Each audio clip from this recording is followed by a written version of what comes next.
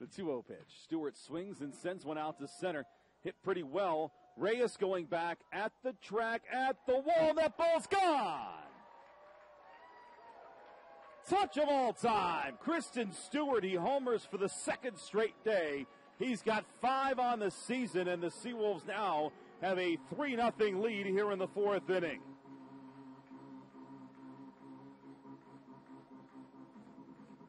Homer to straightaway center.